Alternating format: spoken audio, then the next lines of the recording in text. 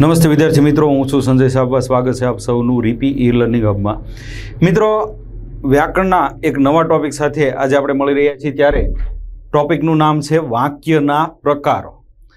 મિત્રો, દસમા ધોરણમાં આપણે વાક્યના છે એ ચાર જેટલા પ્રકારો છે એ આપણે ભણવાના આવે છે. કર્તરી વાક્ય, કર્મણી વાક્ય, ભાવે વાક્ય અને પ્રેરક પ્રેરક વાક્ય. તો આ ચાર વાક્યો વિશે છે એ આજના વિડીયોની અંદર આપણે માહિતી મેળવીશું. તો એમાં પહેલો જે પ્રકાર છે કે કર્તરી વાક્ય. કર્તરી વાક્ય કોને કહેવાય? પહેલો આપણને પ્રશ્ન એ થાય કે કર્તરી વાક્ય કોને કહેવાય? તો કે જે વાક્યમાં કર્તાની મુખ્યતા કે પ્રધાનતા હોય, એટલે કે કર્તા છે, એ ક્રિયાનો કરનાર છે, એની સક્રિયતા દર્શાવે. જે વાક્યની અંદર કર્તા છે એ મહત્વનો દર્શાવ્યો હોય, એવા વાક્યને કર્તરી વાક્ય છે એ કહેવામાં આવે છે. પણ તમને માની લો કે કોઈ પણ વાક્ય આપ્યું છે, એ વાક્યમાં તમે થોડોક ફેરફાર કરી નાખો, તો ઓટોમેટિક છે એ કર્તરી વાક્ય છે એ બની જતું હોય. કયો ફેરફાર કરવાનો છે? તો કે વાક્યમાં મને કે મારાથી, વાક્યની અંદર મને કે મારાથી આપેલું છે, કોઈ પણ વાક્ય છે, અજાણ્યું વાક્ય છે, તો એની અંદર મને કે મારાથી છે, એને કાઢી નાખો, એની જગ્યાએ હું અથવા તો મેં ઉમેરી દો એટલે ઓટોમેટિક વાક્ય છે એ કેવું થઈ જશે? કર્તરી વાક્ય થઈ જશે. તારાથી શબ્દ આપેલો છે, તો એને દૂર કરો અને એ જગ્યાએ તું કરી નાખો. એટલે ઓટોમેટિક વાક્ય છે એ કર્તરી થઈ જશે. અમારાથી લખેલું છે, એને દૂર કરો અને અહીંયા અમે લખી નાખો એટલે વાક્ય છે, પછી અમેના અર્થથી તમારે આગળ વધવાનું હોય, એટલે વાક્ય છે ઓટોમેટિક છે, એ કેવું થઈ જશે? કર્તરી વાક્ય થઈ જશે. તમારાથી લખ્યું છે, તો એ જગ્યાએ તમે લખી નાખો. આવું જો વાક્યમાં મૂકવામાં આવે છે માટે એ કર્તરી વાક્ય બને. જો આવી રીતે તમે વાક્યમાં ફેરફાર કરો, તો એ વાક્ય છે એ ઓટોમેટિક કર્તરી વાક્ય છે એ બનતું હોય છે. દાખલા તરીકે આપણે જોઈએ કે અંકિતથી પરીક્ષા અપાય છે. બરોબર? અંકિતથી પરીક્ષા અપાય છે. તો અહીંયા અંકિતથી અપાય છે, એની બદલે આપણે કરતા મહત્વનો કરવાનો છે.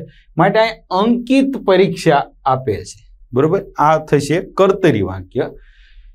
મારાથી ગીત ગવાય છે. તો આ મારાથી છે એ કાઢીને આ લખવાનું શું? તો કે હું ગીત ગાઉં છું. મારાથી દાખલો ગણાયો. તો અહીંયા મેં દાખલો ગણ્યો.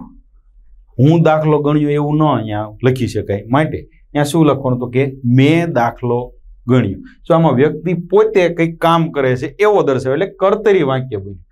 અમારાથી પ્રવાસમાં જવાય. બરોબર? આવું એક વાક્ય આપ્યું છે. તો અહીં અમારાથી ને બદલે શું કરવાનું? તો કે અમે પ્રવાસમાં ગયા. તારાથી ત્યાં ન જવાય. તારાથી ને બદલે શું કીધું? તો કે તું લખી નાખો. તું ત્યાં ન જાય. તો આવી રીતે વાક્યની અંદર જો ફેરફાર કરવામાં આવે, તો કેવા વાક્ય બની જશે? કર્તરી વાક્ય બની જશે. આ બધા વાક્યો છે આ બધા વાક્યોમાં કર્તાની મહાનતા છે. કર્તા છે એ મુખ્ય છે. બરોબર? તો આને કહેવાય કર્તરી વાક્ય. ત્યાર પછી જોઈએ આપણે કર્મણી વાક્ય કોને કહેવાય? તો કે જે વાક્યની અંદર કર્તા છે ને ગૌણ હોય. આમાં કર્તા મુખ્ય ન હોય. આમાં કર્તા છે એ એક બાજુ ગૌણ થઈ જાય.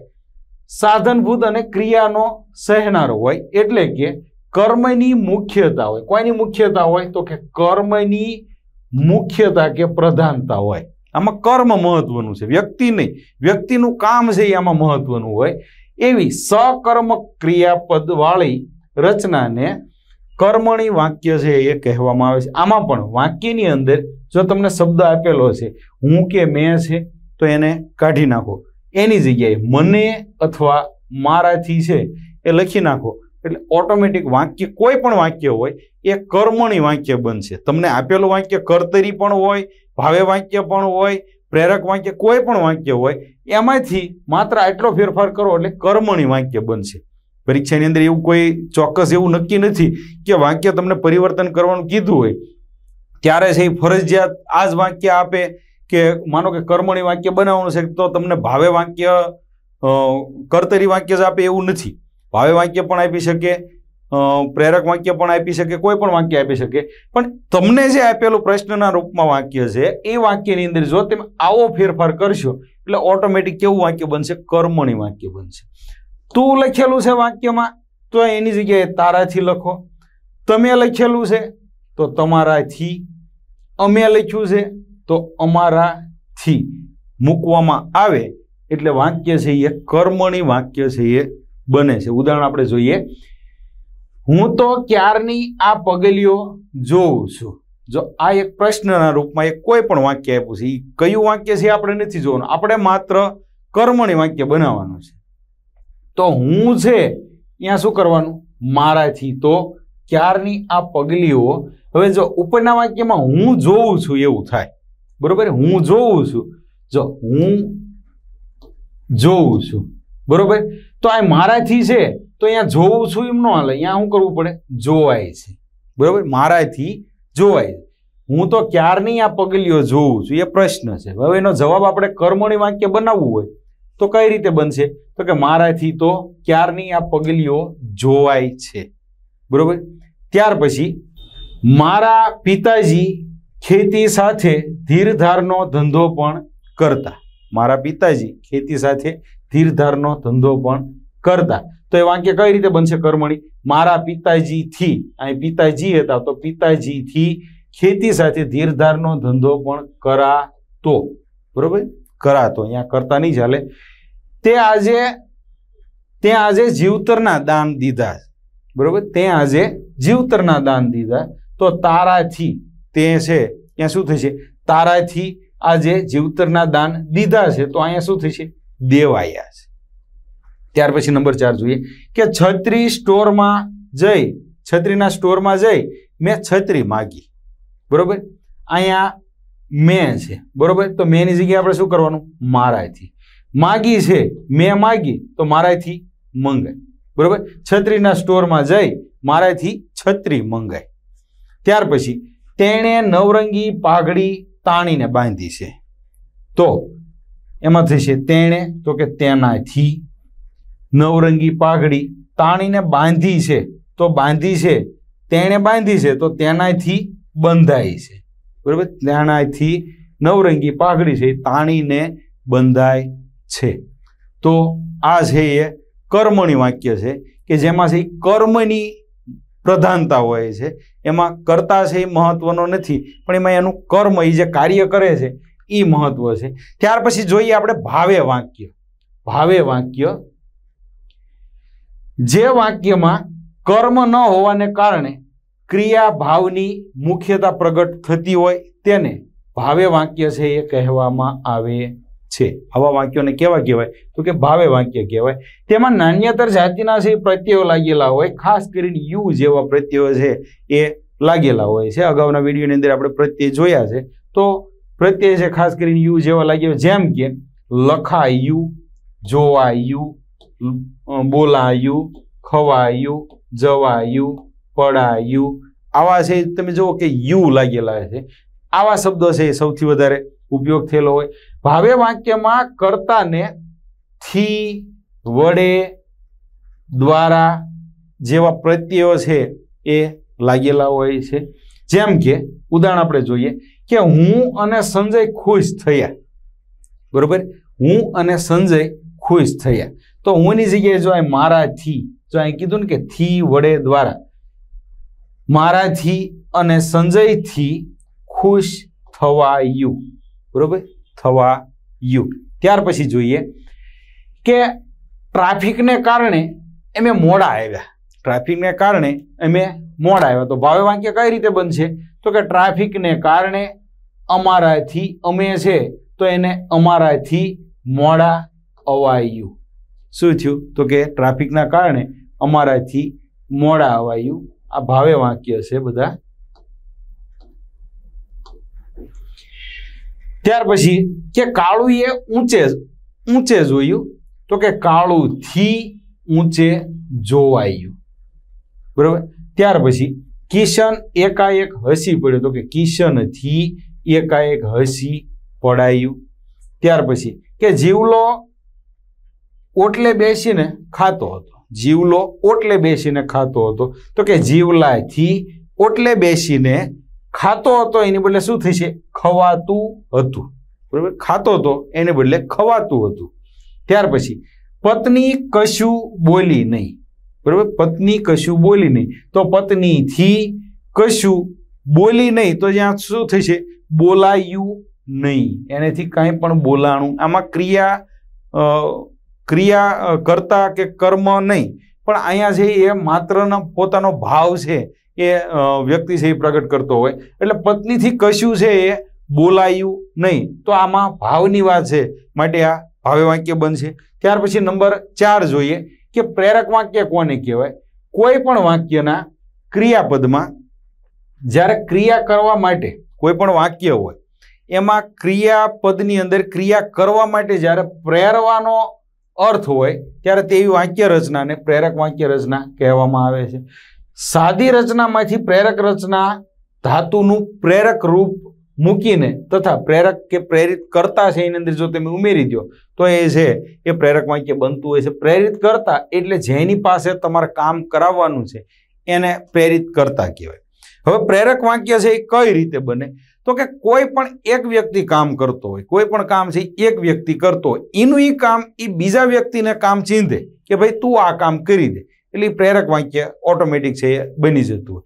જેટલી સંખ્યા લોકોની છે, વાક્યની અંદર જેટલા પણ જેટલી સંખ્યા છે, જેટલા વ્યક્તિની, એની કરતાં વ્યક્તિનો વધારો થાય એટલે પ્રેરક વાક્ય બને. દાખલા તરીકે આપણે જોઈએ કે મૈત્રી પત્ર લખે છે. બરાબર? મૈત્રી પત્ર લખે છે. જો અહીંયા કેટલી વ્યક્તિ છે? માત્ર એક વ્યક્તિ છે. કોણ? તો કે મૈત્રી છે. બરાબર? હવે રેખાબેન મૈત્રી પાસે પત્ર લખાવે છે. મૈત્રી તો એક વાક્યની અંદર હતી જ તે. બરોબર? અહીંયા બીજા એક વ્યક્તિનો ઉમેરો છે. કોને? તો કે રેખાબેન. બરોબર? તો આ છે એ પ્રેરક વાક્ય બન્યું. ઉપરનું વાક્ય સાદું વાક્ય છે, પણ એ સાદા વાક્યની અંદર પ્રેરક વાક્ય કઈ રીતે બન્યું? તો કે આમાં એક પ્રેરિત કરતા છે એ વધી ગયા, કે આમાં તો મૈત્રી પત્ર લખતી હતી, પણ હવે તો રેખાબેન મૈત્રી પાસે પત્ર લખાવે છે, એટલે પ્રેરણા આપે છે. રેખાબેન મૈત્રીને પ્રેરણા આપે છે, પ્રેરિત કરે છે કે તું પત્ર લઈ. બરોબર? તો આ છે એ પ્રેરક વાક્ય છે. ત્યાર પછી આવું પણ હોય કે મેં એને પુસ્તક આપ્યું. બરોબર? મેં એને પુસ્તક આપ્યું. એટલે અહીંયા છે એ કેટલો વ્યક્તિ છે? એક વ્યક્તિ છે. મેં, એટલે વ્યક્તિ પોતે અહીંયા એક છે. મેં એને પુસ્તક આપ્યું. અને આપ્યું એટલે કે કોઈક અહીંયા બીજો વ્યક્તિ હશે કદાચ. બરોબર? એક વ્યક્તિએ બીજા વ્યક્તિને પુસ્તક આપ્યું. એટલે એક વ્યક્તિ આપવાવાળો અને બીજો વ્યક્તિ છે એ લેવાવાળો. બે વ્યક્તિ થયા. મેં એને પુસ્તક આપ્યું. હવે અહીંયા બીજું વાક્ય જોઈએ, આ સાદું વાક્ય છે. બરોબર? હવે પ્રેરક વાક્ય આપણે જોઈએ. તો કે મેં એને પુસ્તક અપાવ્યું. તો અહીંયા મેં છે એટલે એક વ્યક્તિ તો હતો જ તે. પુસ્તક આપ્યું તું ત્યારે એક વ્યક્તિ હતો. હવે અપાવ્યું એટલે કે એક વ્યક્તિએ બીજા વ્યક્તિને અપાવ્યું. બરોબર? એક વ્યક્તિએ આને સલાહ આપી કે બીજા વ્યક્તિને કે તું એને પુસ્તક આપ. એટલે અપાવ્યું. મેં એને પુસ્તક અપાવ્યું. બરોબર? એક વ્યક્તિએ બીજા વ્યક્તિને કીધું કે તું એને પુસ્તક આપ. એટલે અહીંયા છે, અહીંયા બે વ્યક્તિ થયા અને અહીંયા એક વ્યક્તિ. એટલે વાંકીની અંદર ટોટલ કેટલા વ્યક્તિ થઈ ગયા? ત્રણ વ્યક્તિ થયા. બરોબર? તો અહીંયા છે એ પ્રેરક વાક્ય બને. ઉપરનું વાક્યમાં બે જ વ્યક્તિ, એક પુસ્તક આપવાવાળો અને બીજો પુસ્તક લેવાવાળો. જ્યારે નીચેનું વાક્ય જુઓ, તો એમાં એક પુસ્તક અપાવવાવાળો, એક આપવાવાળો અને એક લેવાવાળો. આમાં ત્રણ થયા. જો, એક અપાવવાવાળો. આ છે એ અપાવવાવાળો છે.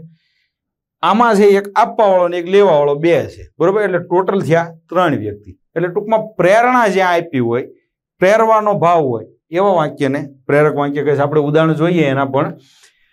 તો કે અંકિતને એનું શૈશવ આપો. બરોબર? અંકિતને એનું શૈશવ આપો. હવે આપો છે, એની બદલે શું કરવાનું?